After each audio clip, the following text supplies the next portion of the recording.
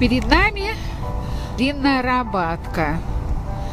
И по центру этой рабатки, э, поскольку, поскольку она длинная, и нужно подчеркнуть, во-первых, протяженность, во-вторых, чтобы взгляд скользил вдоль рабатки, не останавливался. Здесь высажены деревья э, с такой шарообра... шаровидной кроной. Цвет здесь выдержан в белой гамме, добавлено немножечко такого сиреневого желтого цвета и капуста сизого и чуть фиолетового, но в основном это белый цвет. Э, что такое рабатка? Рабатка – это клумба, к которой можно подойти со всех сторон. Она имеет правильную форму. Э, в данном случае это вытянутый прямоугольник.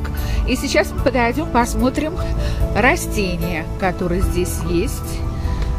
Вот и фиолетовое растение, видите, как удачно подчеркивает белый цвет. Она еще больше вот подчеркивает белый цвет рядом сидящих растений. Капуста э, рядом с розами. Она тоже подчеркивает их цвет. Темные листья, такие бордовые. И капуста и белый цвет. А дальше вот идет легкий сиреневый, как, такая как будто бы сиреневатая дымка проходит посередине. И вот даже зацветшая капуста своими желтыми соцветиями, она сюда прекрасно вписывается. Ну, давайте внимательнее посмотрим поближе. Смотрите, как хорошо углы подчеркиваются этим растением в цветнике. Видите?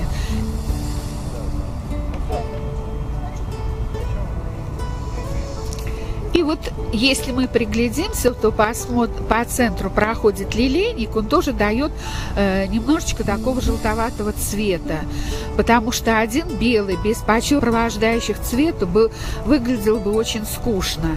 И посмотрите, как хорошо это решено. И вот, как я уже говорила, вот эти туи, э, шаровидные, пиарная стрижка здесь у туй, и они вот прекрасно подчеркивают центр ряд, их ряд идет. Углы.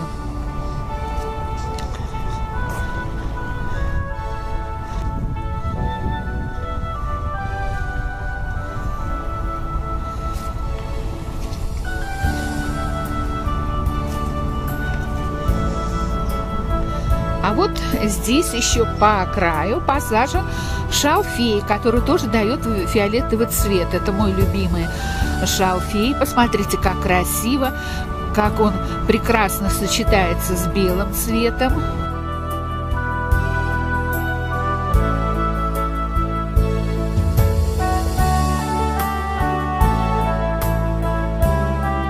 И с такими сизыми листьями э, капусты. Очень удачно. То есть вот подбор цвета, цветник остается белым, но посмотрите, как хорошо его подчеркивают э, вводимые ком компоненты в небольших количествах. Еще раз хочу показать, как желтый цвет посередине проходит и как вот эти э, стопиарной стрижкой шаровидные туи, как они прекрасно.